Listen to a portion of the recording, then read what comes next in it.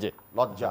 হ্যাঁ এখান থেকে আমি সৈয়দ বলি আশিফ উনি একুশে আগস্টের গ্রেনেড হামলা বলেন পনেরোই আগস্ট বলেন তিরিশে মে বলেন এটা জাতির জীবনে একটা কলঙ্কিত অধ্যায়। এটা কারোরই কাম্য নয়। এবং এই সমস্ত ঘটনার পুনরাবৃত্তি হোক একটা রাষ্ট্রের নাগরিক স্বাধীন চেতা সচেতন নাগরিক হিসেবে পৃথিবীর কোনো মানুষ এবং আমারও কিন্তু কাম্য সেটা নয়। তো সবচেয়ে মজার ব্যাপার হচ্ছে উনি আবার প্রশ্ন তুলেছেন যে এই সমস্ত ঘটনার পরে যে কাজগুলো ক্ষমতাসীনরা করেছে বা আপনারা ক্ষমতা হ্যাঁ সবই বলছি আমি। সেগুলো এখন মুক্তাঙ্গনে আপনি মিটিং এর পারমিশন নিলেন একুশে আগস্টে। চলে গেলেন আপনার বঙ্গবন্ধু এমনি পার্টি অফিসের সামনে। মুক্তাঙ্গনে আপনার নিরাপত্তা প্রহরী থেকে শুরু করে চেক মেক সবই করা হলো। হুট করে ওনারা কি বলতে পারবেন বুকে হাত দিয়ে?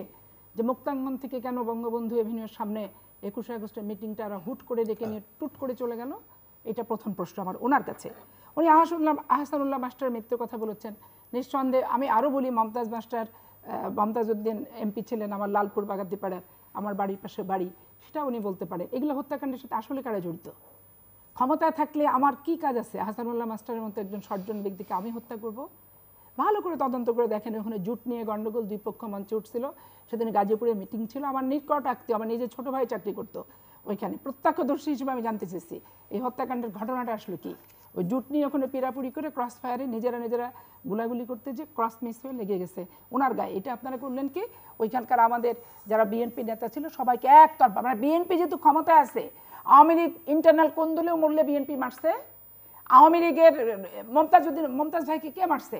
ওই শেফালি ভাবিকে যে জিজ্ঞেস করেন গা। মামলা তো সব বিএনপি ছাত্রদল, যুবদলের নামে করছিলেন। ওনার পরিবারের সদস্যরাই হত্যা তাকে করছে। যার কারণে এইবার অন্তত একবার নমিনেশন দিয়ে এমপি আপনার নেত্রী করছিল। এবার যখন শেফালি ভাবি নিজে যে কান্নাকাটি করছে, যে হত্যাকারী আমার ঘরের ভিতরে বিচার করবেন, বিরোধী দল বলে তা এখন আপনি ওকে কেন নমিনেশন দেবেন? এই প্রথম তার নমিনেশনটা নষ্ট করছে। আপনি এস এম কিবরিয়ার কথা বলেন। তার সন্তান কি বলে এস এম কিবরিয়ার হত্যাকারী কি তার পিতার বিএনপি বিএনপিকে বলে? আপনি আনোয়ার হোসেন চৌধুরীর কথা সবই তো রয়ের খেলা।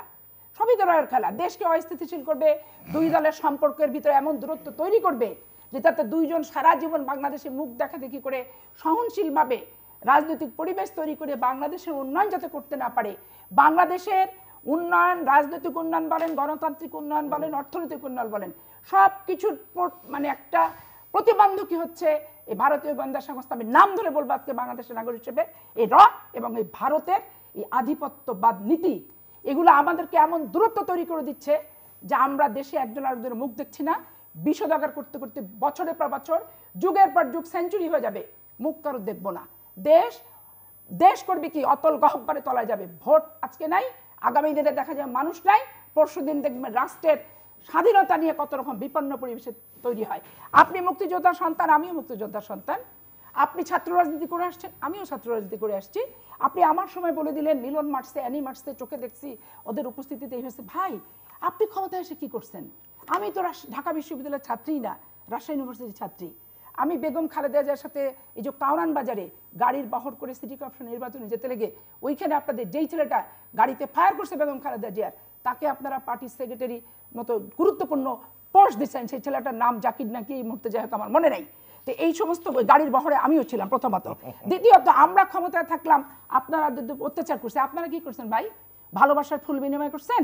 না, সব ইউনিয়ন পরিষদের চেয়ারম্যানকে নিয়ে হল দখল করেছেন পত্রপত্রিকার শিরোনাম তৎকালীন সময় দেখেন।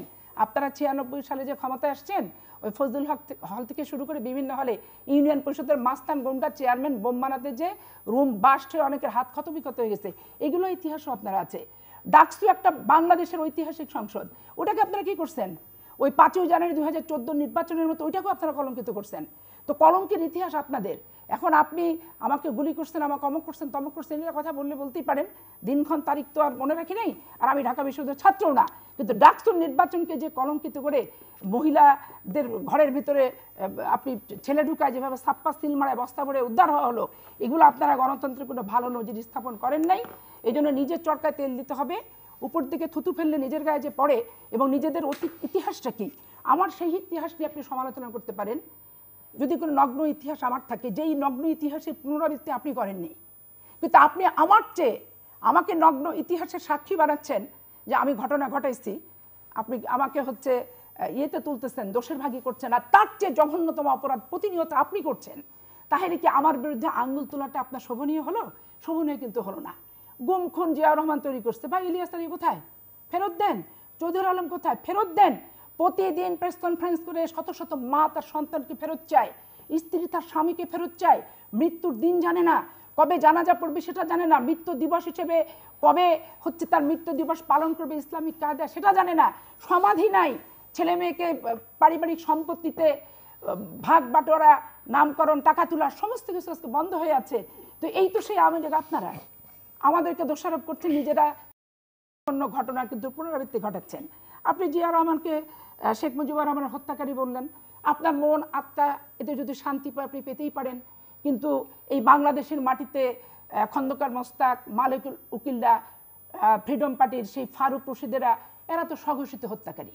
তারা নিজেরা হত্যা দায় স্বীকার করছে। এরশাদ তাদেরকে দিয়ে কুড়াল মার্কা প্রতীক নিয়ে এরশাদের আমলে নয় বছর তাদেরকে দিয়ে পার্টি করাইছে। ওই এরশাদের সাথে ওনারা ছিয়াশি সালে জোট করছে। আবার জামাত নিয়ে বড় বড় কথা ওনারা বলেন। কিন্তু জামাতের রাজনীতি ওনারা ব্যান্ড করেন না। ছিয়াশি ছিয়াশি সালে পার্লামেন্টকে নির্বাচনে গেছেন। জোট তো জামাতকে নিয়ে গেছে। যাই হোক জামাতকে নিয়ে। গেছে। জোটবদ্ধ আন্দোলন করছে। এই মুহূর্তে দরকার তত্ত্বাবধায়ক সরকার। তত্ত্বাবধায়ক সরকারের দাবিতে জামাত ইসলাম জাতীয় পার্টি আওয়ামী লীগ মিলে একসাথে তারা জোট করছে। গোটা বাংলাদেশে কৃষকদের গাড়ি আটকাইছে। কৃষককে তারা হত্যা করছে।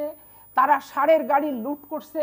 লুট করতে যে পুলিশ বাধা দেওয়াতে এখন তারা বলে আন্দোলন প্রতিহত করে তাদের যুবলীগরা সব জয় বাংলা, জয় বন্ধু স্লোগান দিয়ে গাড়ি লুট করতেছে, সারের গাড়ি। আরে ভাই, হরতাল ডাকছো ডাকছো, সার তো কৃষকের সার। ওটা ছাড়তে হবে, ওটা ছেড়ে দিতে হবে, অ্যাম্বুলেন্স ছাড়তে হবে। সচিবকে দিগম্বর বানাইছেন, জনতার মঞ্চ বানায়। আবার কি করছেন? গর্ভবতী মহিলার ডাক্তারের কাছে যাবে, হাসপাতালে গাড়ি আটকে রাখেন। এই তো সব আপনাদের ইতিহাস। লগি বৈঠক দিয়ে মানুষ মেরে লাশের উপর নৃত্য করে যারা অট্ট হাসি দিয়ে তত্ত্বাবধায়ক সরকারকে ফুলের মালা দিয়ে সিক্ত করে অভিনন্দিত করে ক্ষমতায় যাওয়ার ষড়যন্ত্র পাকাপুক্ত করে তাদের কাছে বাংলাদেশের মানুষ আর যাই হোক গণতন্ত্রের সবক নেয় না তাদের মুখে গণতন্ত্রের সবক কিন্তু শোভাও পায় না। আজকে আপনি কি বলতেছেন? আজকে আপনি বলতেছেন যে Ziaur Rahman minus BNP minus বলছিলেন। তো জিয়াউর রহমান মাইনাস তো বিএনপি মাইনাস হয় নাই। জিয়াউর রহমানের সময় বিএনপি যেটা ছিল তার চেয়ে শাখা প্রশাখা হয়েছে আবার আপনি এখন বলতেছেন বিএনপির নেতৃত্ব নাই। তো শেখ মুজিবুর রহমানের মৃত্যুর পর তার পরিবারের সন্তান যে দুজন বেঁচে ছিলেন তারা তো কেউ বাংলাদেশে সেই মুহূর্তে আসতে পারেনি। অনেক পরে আসছে পনেরোই আগস্ট পর থেকে শুরু করে মে মাসে আসছে জিয়া রহমানের মৃত্যুর চোদ্দ দিন কি পনেরো দিন আগে। তো আওয়ামী লীগ একাশি সালে একাশি সালে। জিয়া রহমান মৃত্যুর কথাই বলছে মৃত্যুর পনেরো দিন আগে তিরিশে মে মারা গেছে তার চোদ্দ দিন কি পনেরো দিন আগে। তা আপনাদের পার্টিকে নেতৃত্ব শূন্যতায় ভুগছিল?